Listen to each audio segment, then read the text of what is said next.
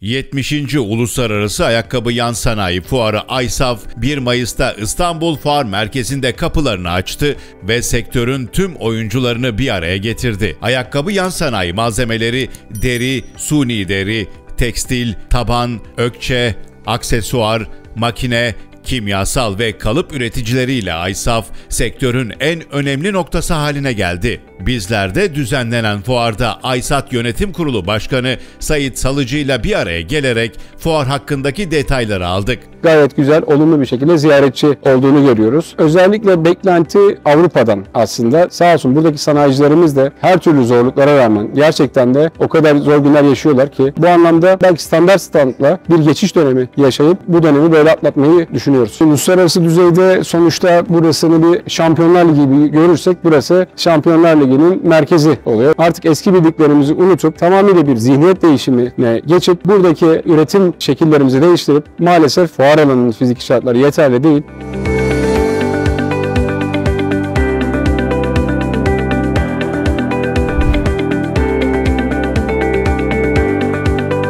Aysaf Fuarı'yla ayakkabı yan sanayi sektörünü bir araya getirdiniz. Fuarla ilgili detayları alabilir miyiz? 70.sini gerçekleştiriyoruz. Ayakkabı yan sanayi fuarımız. Tüm ayakkabı yan sanayicilerinin burada buluştuğu, ürünlerini görücüye çıkardığı ve tüm ayakkabıcıların görme şansının olduğu bir fuar. Fuarda yaklaşık 30 tane sektör grubumuz var ve bunlar burada ürünlerini görücüye çıkarmışlar. Son derecede hazırlıklarını tamamlamış pozisyondalar ve görücüye hazırlar. Fuardan beklediğiniz bir iş hacmi var mı? Düzenlenen fuarda neye hedefliyorsunuz? Tabii şimdi fuardaki yaklaşık şu andaki bizim hesaplarımıza göre 1.13 milyar TL'lik iş hacmi yaratan bir fuar. Daha önceki fuarlara baktığımızda dünyada yaşanan ekonomik sıkıntılardan kaynaklı fuardaki şu anda ilk açılıştaki baktığımızda gayet güzel, olumlu bir şekilde ziyaretçi olduğunu görüyoruz. Bunun tabii ki de ticarete de dönüşmesi anlamında çok değerli. 350'ye yakın burada katılımcımız var. Bunun yaklaşık 35-36 tanesi yurt dışı katılımcısı. Bu da çok değerli bizim açımızdan. Çünkü fuarın uluslararası alanda bilinenin ve tanınanın bir göstergesi ne olursa olsun. Bu da çok değerli. İnşallah bu fuarda ticarete dönüşür ve hem katılımcı hem de ziyaretçi memnun bir şekilde tamamlamış oluruz. Fuardan ziyaretçi olarak beklediğiniz bir hedef ülke var mı? Ziyaretçi anlamında özellikle beklenti Avrupa'dan aslında. Normal şartlarda genel anlamda Afrika bölgelerinden ve Orta Doğu tarafından çok aşırı ziyaretçi alıyoruz yurt dışı anlamında. Fakat Avrupa bölgesinden de özellikle derneğimizin komitesinin çalışmaları çok başarılı olduğunu gördük ve İtalya'dan, Almanya'dan tabii ki orada üretim yok. Oradaki model ofisleri, oradaki markaların tasarımcıları, oradaki satın almacıları gelip buradaki ürünleri belirleyip ürettirdiği ülkelere de buradaki ürünleri tanıtıp daha sonra buradaki ticareti başlatma anlamında çok değerli. Avrupa'dan, İtalya'dan ve Almanya'dan da katılımcılarımızı göreceğiz İspanya'dan özellikle. Maliyetteki artıştan dolayı Avrupa pazarlarında da bir düşüş gözlemleniyor ziyaretçi anlamında. Bunu önlemek için neler yapıyorsunuz? Son dönemde insanlar kemer sıkma politikasına girmiş durumda ve nereden sıkacağını öncelikle masraf giderleri, masraf kalemlerini araştırdıklarında ilk öne çıkan şey fuar oluyor. Fuarımızı iki defa yapıyoruz ama fuarlar gerçekten çok değerli. Sağ olsun buradaki sanayicilerimiz de her türlü zorluklara rağmen gerçekten de o kadar zor günler yaşıyorlar ki günün sonunda yine bu fuarda vazgeçmediler. Fuarımızı bırakmadılar. Çünkü şöyle bir bakmamız lazım bence fuarlara. Bizler bu müşterilerimizi, yurt dışı müşterilerimizi zaten bu fuarlardan elde ettik ve bundan sonra edeceklerimiz de buralardan elde edeceğiz. Bunun bilincindeler katılımcılar. O anlamda da fuara sahip çıkıyorlar. Ne olursa olsun bizler bununla ilgili ne yapabiliriz diye kendilerini de düşünerekten yani biz standart standa geçmeyi planlıyoruz. Bunun bir maliyet çalışmalarını yapmak üzere bir çalışmamız var. Özel standarttan ziyade buradan kısın fuara katılmaya devam edin. Çünkü stand masrafları da çok külfet olmaya başladı insanlara. Bu anlamda belki standart standla bir geçiş dönemi yaşayıp bu dönemi böyle atlatmayı düşünüyoruz. Belirttiğiniz gibi fuarda çok sayıda global ziyaretçi oluyor.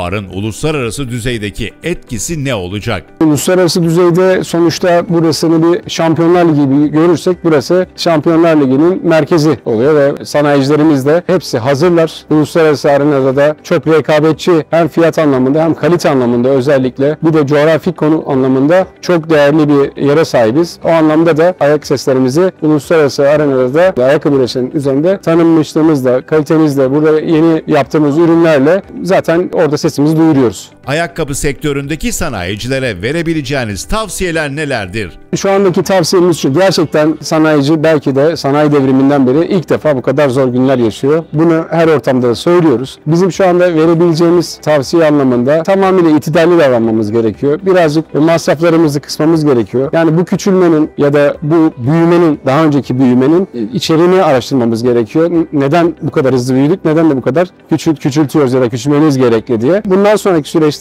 bence benim tavsiyem tamamıyla yüksek teknoloji ürün üretmemiz gerekiyor. Artık eski bildiklerimizi unutup tamamıyla bir zihniyet değişimine geçip buradaki üretim şekillerimizi değiştirip dünyada aldığımız %2'lik, %3'lük bu pazarı %97'lik pazarın da olduğunu bilip ona göre çalışmalarımızı yapmamız gerekiyor. Aysat olarak eğitime ve öğrencilere verdiğiniz destekler nelerdir? Tabii eğitim gerçekten şart, çok önemli, çok değerli. Bu fuarda da olduğu gibi hem TASEF okulumuzun öğrencilerini hem Konya'daki üniversitenin diğer öğrencilerini davet edip buraya ve yaptıkları inovasyonlar var. Belki göreceksiniz birazdan onları da. Güzel şeyler yaptılar kendi atölyelerinde. Onları da burada göreceği çıkartıyorlar. Hem de sektörün içinde olmuş oluyorlar. Sektördeki fuarın nasıl olduğunu, sadece bir üretimin atölyeden ibaret olmadığını, satış aşamasını da uluslararası alanda ürünlerin nasıl sergilendiğini de göstermek amaçlı öğrencilerimizi getirip burada fuarın atmosferini de kendilerine yaşatıyoruz.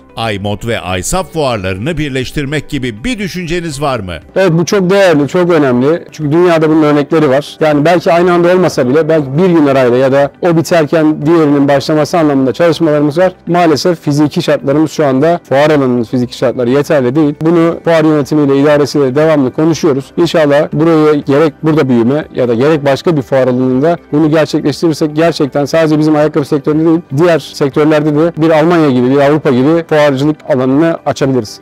ISAF sadece bir fuardan öte, ayakkabı sektörünün kalbini İstanbul'da atmasını sağlayan ve tüm dünyada ilham veren bir güç merkezi olmaya düzenlediği her yıl devam ediyor. Bizler de bu keyifli sohbet için Aysat Başkanı Sayit Salıcı'ya teşekkür ediyor. Düzenlenen fuarın başarısının devamını diliyoruz.